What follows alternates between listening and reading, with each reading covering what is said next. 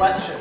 This is, this is- how does it feel up there doing what you just did as far as trying to help each other out in work? I think us helping each other out is really got us where we are. Yeah. Has it improved or um, changed since? Yeah, because if one person was in control of Yeah. everything, we, it wouldn't be.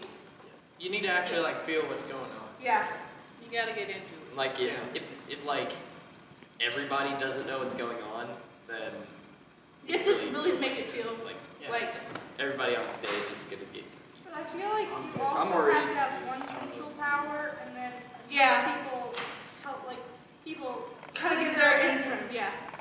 Because otherwise everything just goes to chaos. Because everyone's trying to do their Ooh, I like that. Okay. Um, doing this, does it make your, your work easier when you have other people at the same time who are trying to improve? Yeah.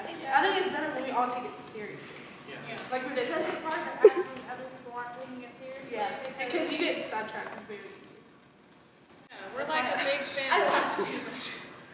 All right. Big. So we take it from the Yeah, top. we're, we're a sitcom. Uh, I think we're about out of time. Oh, Thanks.